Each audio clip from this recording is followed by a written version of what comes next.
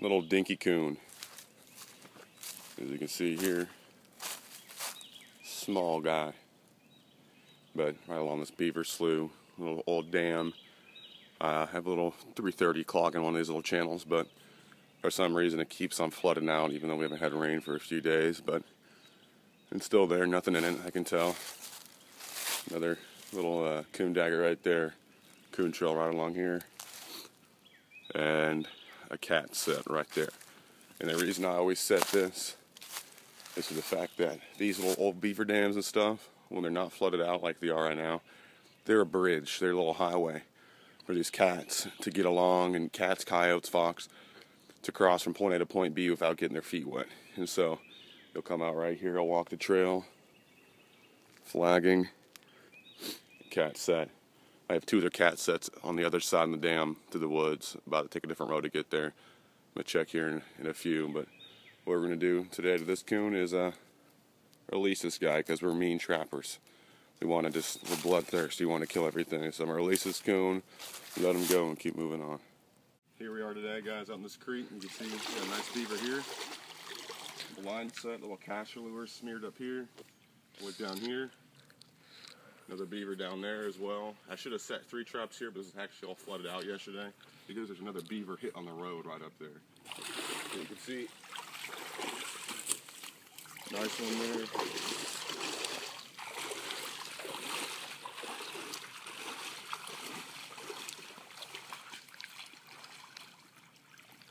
Oh, this is actually an otter.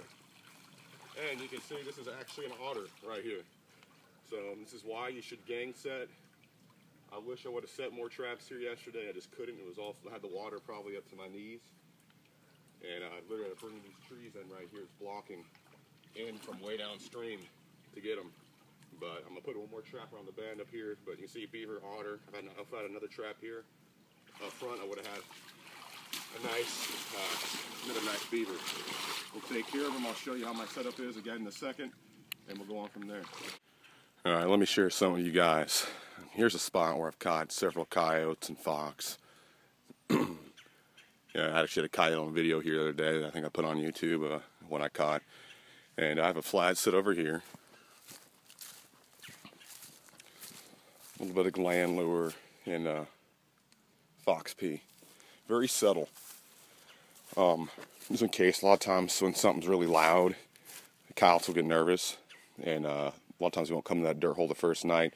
They'll hit a flat set. What I'm dealing with now, I'm dealing with, I want to say it's either a fox or bobcat. It's something that's uh, stepping really light. I've had this set here for a few days. And the last two nights it's been robbed. And I, that's why I, I'm using bait right now too, which is good because it's coming back. night before I used some bobcat chunks down there. And uh, last night I had half a duck come back, gone. And that's I that set blocked down pretty good. So I don't know how he would get in there, but I'm guessing it's stepping so light and it's been really uh, it's kind of rain and been moist here. So I'm guessing maybe some clay kind of clogged it up. I don't know. So I opened this set up a little bit more and blocked it down lightly, just some sticks. But you see, it's the pattern is still very open. So I did that, uh, baited it back up with some RK, and good to go. But then I came here and I kind of call it my little come and get it set.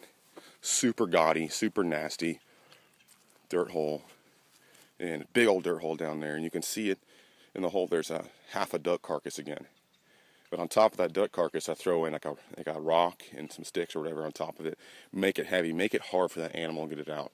So what I think this has been doing, I want that's why I think it's a fox or a cat. It's been kind of walking the edges up in here, kind of going through my back end to get down that hole, not really walking in the pattern too much because I literally cannot see any tracks. So this one right here basically says, if you want this duck, if you want this, you're gonna walk way deep, deep in here, and you're gonna fight for it and get it out. And hopefully it won't come up from behind, which I've seen them come up behind before, but kind of limited to where I'm at. But I doubt they'll move tonight because it's supposed to get down to probably like uh, like 20 tonight or something and windy.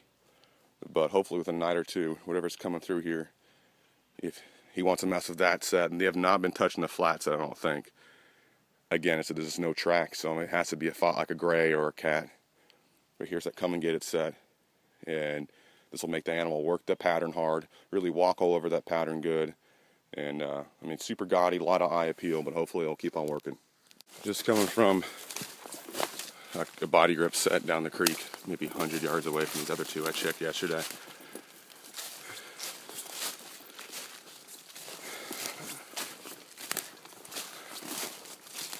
It rained all night.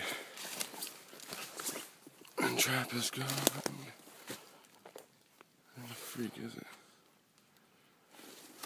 Oh, there it is. And another otter right there. That was a stick in the water. That's a nice one. Another otter there. And looks like a beaver down here. Yeah, another big beaver. This is the set yesterday where I caught the uh, otter right here. I That's another set just around the bend of that creek. And uh, that was wide open, so I guess these beaver were coming down creek. And there's the otter, and that's where I caught the beaver yesterday. Reset it, and uh, keep on going. Supposed to get really cold tonight, so I doubt anything will move much tomorrow. But we'll see what happens. I'll reset these and show you what's up. All right, here's the remakes. Very simple. Super easy, guys, to trap animals in a creek. All right, there's really not much skill. The only skill involved, really, for me, is blocking and knowing what side the animal wants to run. Shallow side, deep side has an undercut bank. They'll go up there, they'll search a crawfish, mussels, all that. They'll run the deep side. I can't stress enough. Block it off a ton. Who cares? There's a lot of folks that sit there and will say, uh, the otter, if you block them off a ton, or a beaver, uh, it just makes them nervous. Yeah, not. I'm not worried about a creek. If they want to get from point A to point B, they will go through the trap. And there's the other set. Block it off real good. I made that pinch point